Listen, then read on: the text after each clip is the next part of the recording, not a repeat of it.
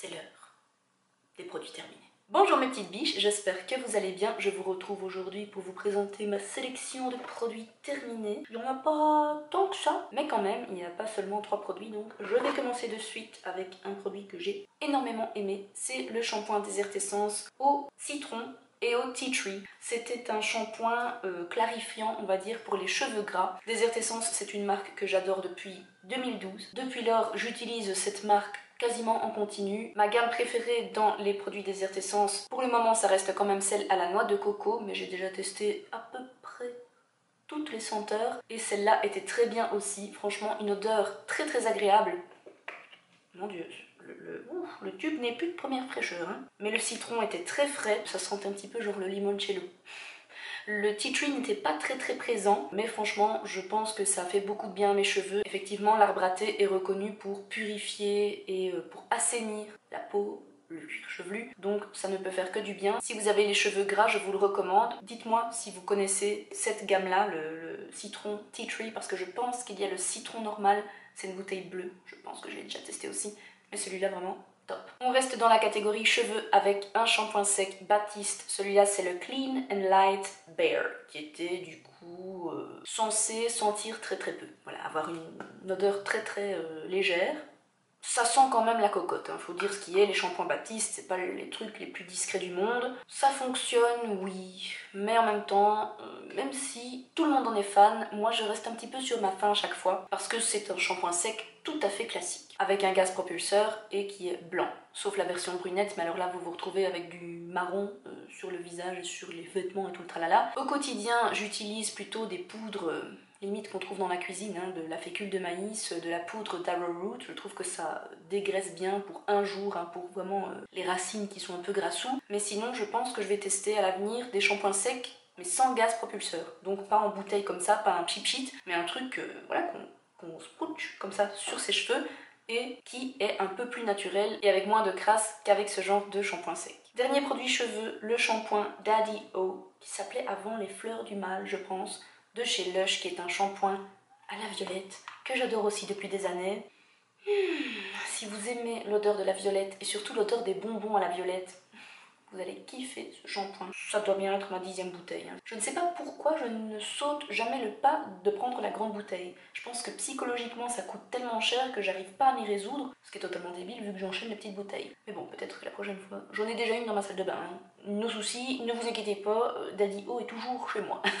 Mais c'est un très bon shampoing, il lave extrêmement bien. Si vous n'êtes pas trop porté sur les shampoings qui moussent beaucoup, passez votre chemin parce que même si Lush essaye d'être engagé au niveau des animaux et au niveau des compositions, ils ne sont pas bio, ni vegan à 100%, ni voilà, 100% clean. Donc il y a quand même pas mal d'agents moussants, euh, sodium lauryl sulfate, sodium laureth sulfate et je peux vous dire qu'avec un petit poids de shampoing, ça mousse à la caisse. Franchement, c'est super économique. Du coup, c'est pour ça en fait que j'achète jamais que des petites bouteilles parce que une bouteille de 100 ml me dure des mois et des mois. Mais voilà, faut savoir aussi que même si Lush est une marque, je pense, qui va vers une, belle éthique, elle n'est pas à 100% clean au niveau compo.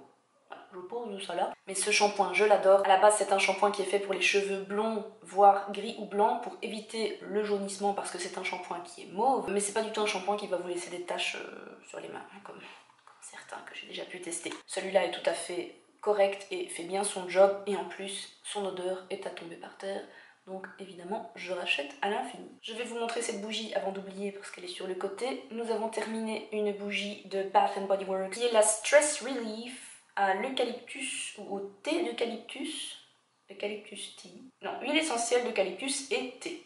C'est la gamme des stress un peu en mode spa de Bath Body Works. Et c'est une gamme que le Crowley aime beaucoup, donc il y a quelques mois on avait acheté cette bougie. Elle sent bon, mais je m'en suis... Je m'en suis lassée à un moment donné. On la mettait dans la salle de bain en fait et je sais pas si c'est parce que notre salle de bain est petite et que donc ça fait peut-être un peu espace confiné mais à un moment donné j'en ai eu marre et euh, ben voilà sinon elle était, pas mal du tout. Si vous aimez l'eucalyptus, c'est très bien, mais il y a une petite odeur en plus qui fait que c'est pas juste eucalyptus. C'est pas genre euh, l'odeur euh, dans un spa, vous voyez, quand on fait un hammam ou un sauna. Donc bon, il y avait un petit twist qui m'a pas emballé sur toute la durée de la bougie. Mais Les bougies à trois mèches de Bath Body Works sont vraiment très très bien. Au niveau de la diffusion de l'odeur, il n'y a rien à dire. Elles coûtent un petit peu cher, c'est-à-dire qu'une bougie comme ça, ça va entre 22,50$ et 24,50$ pour les éditions spéciales, mais franchement ça vaut le coup et surtout il y a très très souvent des promotions chez Bath Body Works, donc si vous venez aux états unis essayez de voir, essayez de vous inscrire à la newsletter pour voir quand sont les soldes parce que ça arrive assez régulièrement que genre euh, il y en a 3 plus 1 gratuite ou bien alors euh, carrément pendant le Black Friday elles sont à 12,50.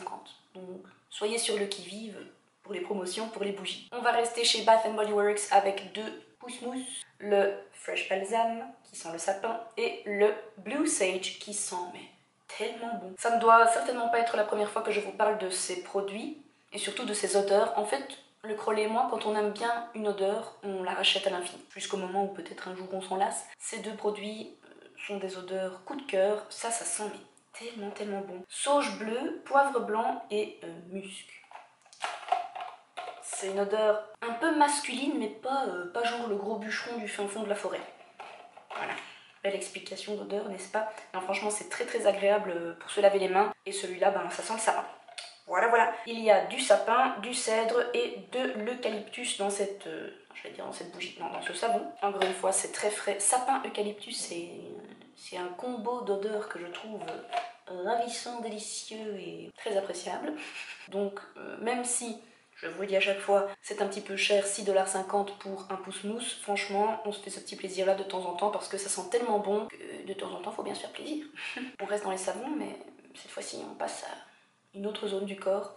C'est mon nettoyant intime Summer's Eve à l'eau de noix de coco. En fait, c'est euh, une eau dans le, dans le bidon et puis ça se transforme en mousse légère. Je n'ai rien à dire sur ce produit.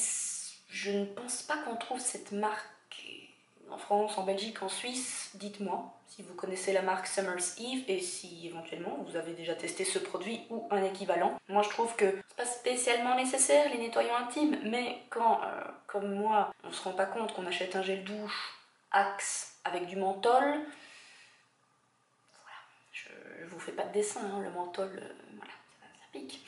Donc ça, ça m'a sauvé la vie et je trouve ça très très bien et c'est pas extrêmement cher donc je rachèterai certainement à l'occasion. On retourne chez Bath Body Works avec un produit qui s'est fait désinguer la rondelle, mes amis, mais je vais éviter de trop le toucher d'ailleurs. C'était une brume d'oreiller à la lavande et au cèdre qui sent mais tellement bon. Bon là évidemment c'est la fin des haricots, je vais le reposer. Le truc c'est que euh, si vous voyez un énorme trou dedans, c'est parce que mon cher et tendre amour Pintou, qui pour une fois ne nous a pas encore rejoint, a fait tomber la bouteille de ma table de nuit et a cassé le vaporisateur. Ce qui fait que euh, nous avons tenté, à grands coups de couteau, euh, de couper la bouteille en deux pour en récupérer les 9 dixièmes hein, de la brume qui n'était pas encore utilisée. on a juste réussi à faire ce, ce trou là. Et puis j'ai su transvaser ça dans une autre bouteille, un autre vaporisateur, heureusement. Sinon, ça m'aurait fait un petit peu mal aux fesses de devoir jeter 13,50$ à la poubelle. Enfin, c'est pas encore si si cher que ça, je trouve, pour, euh, une telle quantité, 156 ml, d'une très bonne euh, brume pour l'oreiller. Voilà. Merci Pintou, comme d'habitude. Mais je vous les recommande, franchement. L'odeur est vraiment hyper délicate. Ça sent la lavande, mais avec le cèdre, ça donne un petit twist qui évite le côté lavande toilette. Hein. Vous savez, l'odeur des WC, pas terrible. Là, c'est vraiment super bien, c'est apaisant, c'est devenu notre odeur du soir. Moi, j'adore les plumes d'oreiller, je ne sais pas vous, dites-moi. Est-ce que vous en avez? Est-ce que vous en utilisez? Quelles sont les odeurs que vous aimez pour le soir? On passe à un produit qui s'est aussi fait démonter. C'est le lait hydratant euh, auto-bronzant progressif de Jergens que j'adore je suis tombée en amour pour ce truc. Et d'ailleurs, j'ai acheté euh, son successeur, mais pas tout à fait le même. Je vous en parlerai dans une vidéo euh, favori et découverte. Là, c'est un autobronzant euh, progressif tout à fait classique. Mais je sais pas, j'aime bien l'odeur qui est moins forte que les autobronzants classiques qui... Hein, encore une fois, pas besoin de vous faire un dessin. Et en plus, il fonctionne super bien, sans faire de traces. Et alors, le petit truc en plus quand même de, ce, de cette crème, désolé, le tube est totalement dégueu, mais c'est qu'il est raffermissant en plus. Bon, je vous avoue que je ne l'ai pas posé assez assidûment, j'ai pas genre fait une cure de 20 jours pour voir si ma cellulite diminuait, mais je trouve que l'idée est quand même pas mal. Je reste quand même convaincue que c'est surtout le massage qui fait ça, que même si on prend une bête crème hydratante, on peut raffermir notre corps, mais j'aimais bien et je vais continuer à racheter parce que vraiment cette marque, euh, elle me plaît bien. J'ai terminé un paquet de lingettes nettoyantes et clarifiantes euh, de la marque Shea Moisture. C'est une marque dont je vous parle assez régulièrement. Je pense qu'on la trouve Europe, cette marque. Donc si vous ne connaissez pas, franchement, regardez dans votre magasin et euh, testez si ça vous dit parce que c'est une marque qui, même si elle n'est pas à 100% clean, est quand même pas mal du tout, pas mal du tout. Elle est cruelty free et il y a beaucoup de bons ingrédients, des ingrédients naturels, souvent des ingrédients euh, bio aussi dans la composition et franchement, j'ai jamais été déçue de, de ces produits. Là, ce sont des lingettes nettoyantes, donc je ne démaquille pas avec parce que je, si je me souviens bien, oui, il y a du tea tree dedans. Ça pique un petit peu les yeux, mais pour le visage, pour donner un petit coup euh, de nettoyage final, on va dire, avant de se rincer le visage, c'est vraiment pas mal. Et quand on est en voyage ou juste, ça arrive, quand on a la flemme, c'est vraiment chouette. Je n'utilise pas souvent des lingettes, je dois bien vous dire. Genre là, dans ma vidéo euh, Pack With Me for Belgium, vous avez vu que j'avais pris un, paquet de lingettes nettoyantes. c'est bien simple, à part celle-ci, euh, c'est le premier paquet de lingettes que j'avais chez moi, donc voilà je réponds comme ça en même temps à la personne qui m'avait laissé un commentaire en disant que c'était vraiment pas écologique. Je sais, mais parfois c'est pratique, surtout quand on n'en utilise pas beaucoup. Je pense que ça va encore. Deux produits pour le visage Bioré Free Your Pores, qui sont l'un au charbon et l'autre au... Euh, mon dieu, c'est comme Emma je ne me souviens jamais de comment on dit baking soda. Bicarbonate de soude. Je vous en ai déjà parlé, si je ne m'abuse, je vous mettrai la vidéo en lien. Ces produits ont une odeur je suis très sensible aux odeurs. Ça sent un médicament que je prenais quand j'étais petite qui s'appelle l'augmentin. Bon, c'est pas terrible, terrible. Ça sent en fait euh, un peu la menthe, mais avec d'autres trucs. Celui-là sent pareil, bizarrement. Bon, alors là, l'odeur, zéro. D'ailleurs, je pense que je l'avais dit dans ma vidéo, revoyez ça parce que c'est Mais alors l'efficacité et le plaisir d'utilisation de ces produits en retenant sa respiration étaient vraiment là. C'est-à-dire que celui-là, je l'ai terminé pour dire de le terminer. Je dois bien vous dire, c'était plutôt comme, comme une crème lavante, mais c'était un peu visqueux, bof. Mais comme c'est au charbon, euh, j'aime beaucoup parce que je kiffe tout ce qui est au charbon. Mais ça par contre, je suis en train d'utiliser son petit frère, la version au charbon justement. Et euh, ce produit est en fait un nettoyant gommant mais qui ne va pas arracher votre peau. C'est-à-dire que je ne suis pas du tout partisane du gommage tous les jours, mais là je me nettoie le visage tous les soirs avec un Les petits granulés sont tellement doux qu'on ne sent pas qu'on exfolie sa peau. C'est plus une crème avec quelques billes. Je sais pas comment expliquer, mais ça marche super bien. Encore une fois, je ne sais pas s'il y a cette marque. Je pense que oui, en Europe. Dites-moi, dites-moi si vous connaissez Bioré. Je sais que les patchs, ils existent en Europe. Donc peut-être aussi les nettoyants. Mais le truc, c'est qu'il y a 2% d'acide salicylique dans ce produit. Et du coup, je pense que c'est ça aussi qui a aidé à purifier ma peau. Parce que, euh, vous voyez, j'ai déjà terminé deux produits sur les trois que j'ai. Et ma peau se porte vraiment bien, en plus de l'alimentation évidemment. Je, trouve vraiment que c'est un super bon produit et ça coûte trois fois rien, donc ça je vous le recommande vraiment. Je suis pas euh, pro produit anti-acné d'habitude, hein, je suis plutôt du genre euh, douceur et volupté pour la peau, mais là franchement ça marche super bien. J'ai terminé un gel douche Cottage à la vanille que j'avais reçu dans mon swap avec Caro de la chaîne Satin Taupe, je l'ai beaucoup aimé. Je trouve que c'est une odeur toute douce, une odeur euh, réconfortante et en plus les gels douche Cottage sont très, très onctueux, très enveloppants et pour l'hiver c'était super. Maintenant je ne pense pas que j'ai Cottage ici, non, peut-être lors de mon prochain retour en Europe, je, ferai un petit stock parce que je les aime vraiment bien. Est-ce que vous, vous avez déjà testé? Je pense que oui, parce que c'est une marque super connue par chez nous. Mais dites-moi, quelle est votre odeur préférée Moi, j'adore celui à la fleur d'oranger et celui à la violet. Deuxième gel douche qui s'est aussi pris un camion dans la figure, c'est le Happy Hippie de Lush. Et celui-là, il sentait le citron et le pamplemousse. Il était chouette à utiliser, mais il ne moussait pas énormément.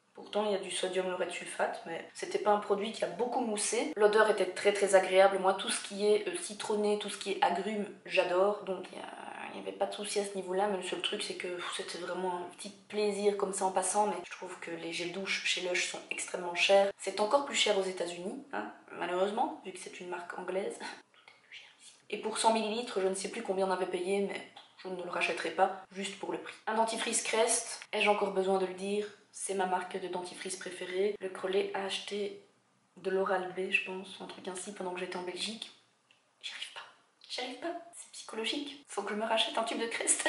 J'adore ces dentifrices. Ils ne me causent pas de problème de sensibilité. Ils nettoient mes dents comme je le souhaite. Je ne peux que vous les recommander si vous souhaitez un petit coup de peps, un petit coup de blancheur. C'est pas un truc qui va vous faire gagner trois teintes, hein, mais bon, ça entretient la blancheur et c'est toujours sympa. Je répète, et c'est toujours sympa parce que je pense que nous avons notre invité qui arrive, enfin. Allez, viens. Allez, viens. Viens, ma mère. Viens, tata, mère. Allez. Viens ici, triple buse. Viens. Allez, oh oui. Allez, viens vite. Voilà, on peut continuer la vidéo. En plus, c'est presque fini. Qu'est-ce qui reste? Pas grand chose en plus. On presque à la fin, Pintou. Il reste plus que deux produits.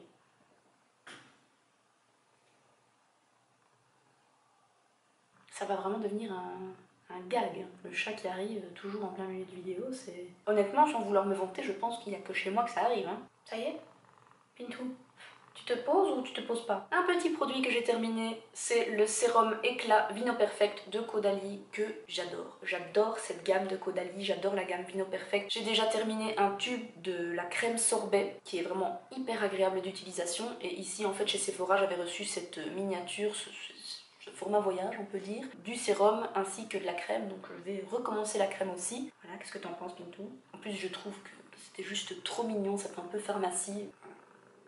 Qu'est-ce que vous voulez On peut être aussi sensible aux, aux sirènes du packaging.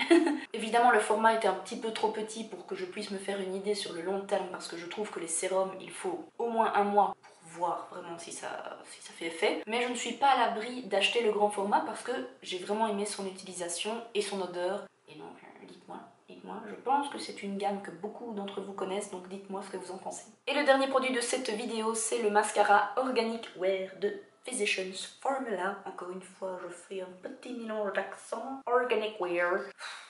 Non, non, euh, voilà, je le remets. Bon, déjà, on en parle du, du packaging parce que rose, vert, jaune, soit. La forme courbée, soit. Enfin non, pas soit, mais bon. La brosse est très très particulière, mais soit. Mais alors le truc, c'est que il ne tient pas et qu'il coule et que j'avais reçu ça dans le cadre de ma collaboration avec le magazine Women's Health pour nos 10 km, pour, pour courir les 10 km.